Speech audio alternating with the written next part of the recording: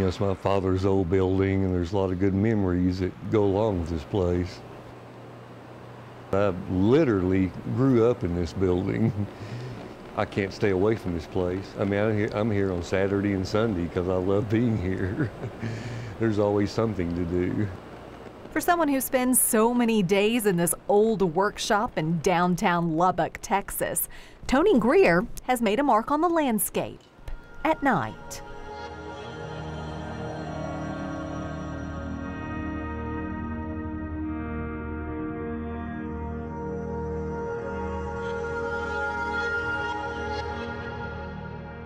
Neon just has a look to it that, that nothing else does.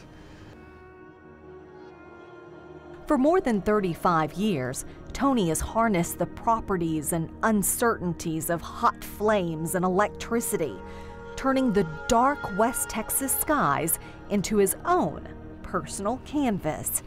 It's a complicated scientific process that's a far cry from the creations of his granddad, who built this shop more than 80 years ago.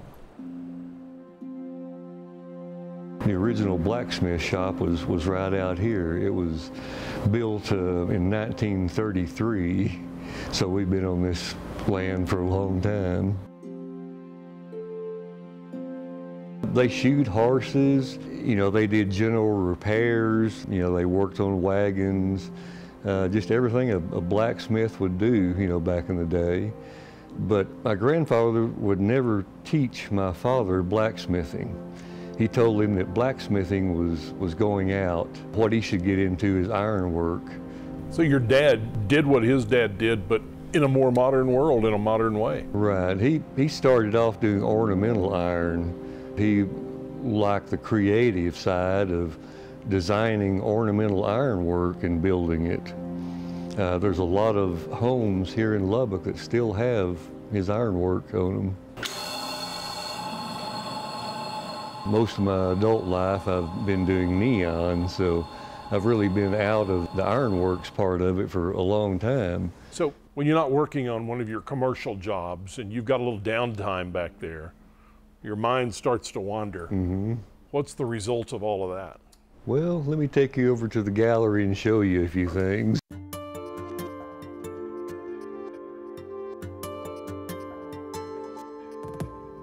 Just a few feet away, part of the old Greer shop is now the Tornado Gallery, where among the contemporary mix of West Texas artists and sculptors, Tony has found his place as a true neon artist. It's just called a crackle tube. You can see all these little bits of glass.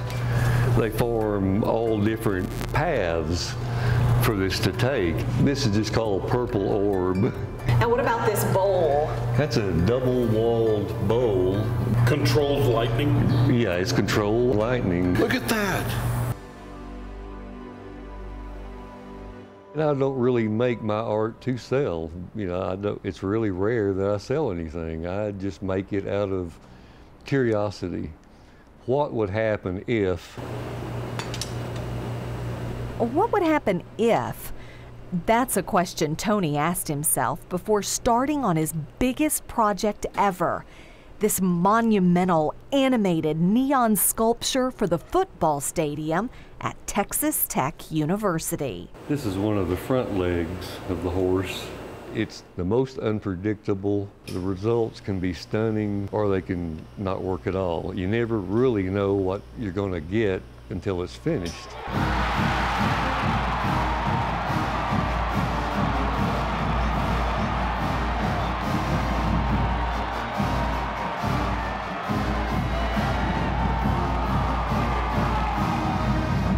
I want to draw your attention to our newest piece of art. And Tony Greer put every piece of that art together to make our masked rider.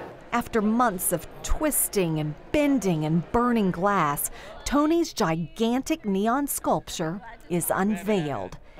And while he's not one for big crowds, Tony admits this is a piece that, in a way, took better than 80 years to create it. Feels good when something comes out uh, like you expected it. Sometimes things come out not as expected, but better.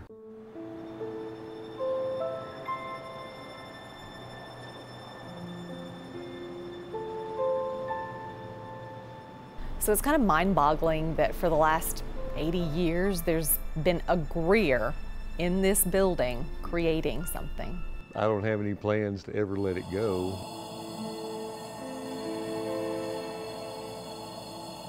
To a certain extent, Tony Greer has snatched lightning out of the West Texas sky and captured it in fragile tubes of glass. And like the Greer family legacy, it's a glow that may just go on forever. I'm right in my element down here. This is home. This is home, yes it is.